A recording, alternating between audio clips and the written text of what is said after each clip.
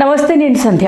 RSS నుండి వచ్చి BJP నేతగా ఎదిగి ప్రజల్లోకి మొత్తంగా రాష్ట్రం మీద ఒక బీజేపీకి పట్టు తీసుకురావడంలో సక్సెస్ఫుల్ అయినటువంటి నేత బండి సంజయ్ అని చెప్పొచ్చు. అయితే బండి సంజయ్కి అంత అంటే వాక్చాతుర్యం అంటే ప్రసంగం చేసేటప్పుడు అంత స్పష్టత లేకపోయినా అతని టైమింగ్ వల్ల అతని వ్యూహ రచన వల్ల ఇప్పుడు అంటే పాదయాత్రలు చేస్తూ ప్రజల్లోకి వెళ్ళే ప్రయత్నం చేస్తూ ఎప్పటికప్పుడు మీడియా ముఖంగా హైప్ని తీసుకొస్తూ పార్టీని ముందుకు తీసుకువెళ్ళడంలో సక్సెస్ అయ్యారు బండి సంజయ్. సో ఇప్పటివరకు రాష్ట్ర అధ్యక్షుడిగా ఉన్న బండి సంజయ్ని పక్కకు తప్పించే ప్రయత్నంగా బీజేపీ ప్రభుత్వం ఉన్నట్టుగా తెలుస్తోంది. అయితే కిషన్ రెడ్డి వరకు ఉన్నటువంటి బీజేపీకి బండి సంజయ్ వచ్చాక బీజేపీకి చాలా డిఫరెన్స్ అనేది మనం చూసాం.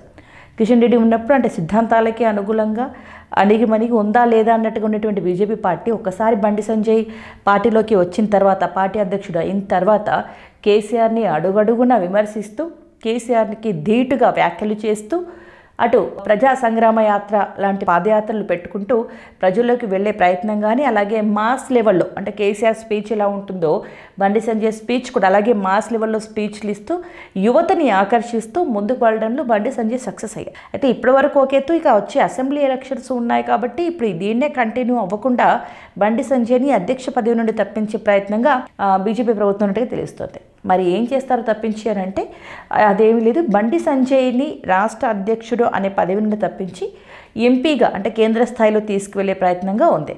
మరి రాష్ట్ర పగ్గాలు ఎవరికి అప్పచెప్పబోతున్నారు అంటే ఈటల రాజేందర్కి అప్పచెప్పబోతున్నారు ఈటల రాజేందర్కి రాష్ట్ర పగ్గాలు అప్పచెప్పడం జరుగుతుంది. ఎందుకంటే కేసీఆర్ స్ట్రాటజీ తెలిసిన వ్యక్తిగా ఉద్యమ నేతగా ప్రజల్లో మంచి పట్టు ఉన్నటువంటి నేతగా పేరున్నటువంటి ఈటల రాజేందర్కి తెలంగాణ రాష్ట్ర బీజేపీ పగ్గాలు అప్పచెప్తూ తెలంగాణ రాష్ట్ర అధ్యక్షునిగా ఈటలని అనౌన్స్ చేసే అవకాశం ఉంది. మరి ఈటల ఇప్పటికే బీజేపీ మీద కొంత అలకబూనట్టుగా కనిపిస్తున్నటువంటి సందర్భాలు ఉన్నాయి. సో ఈ సందర్భంలో ఇటు రాష్ట్ర అధ్యక్షుని చేసిన ఈటల రాజేందర్ని రేపు ముఖ్యమంత్రి అభ్యర్థిగా కూడా అనౌన్స్ చేసే అవకాశం ఉంది. సో తెలంగాణలో ముఖ్యమంత్రి అభ్యర్థి ఎవరయ్యా అంటే అది ఈటల రాజేందర్ అనే చెప్పక తప్పదు.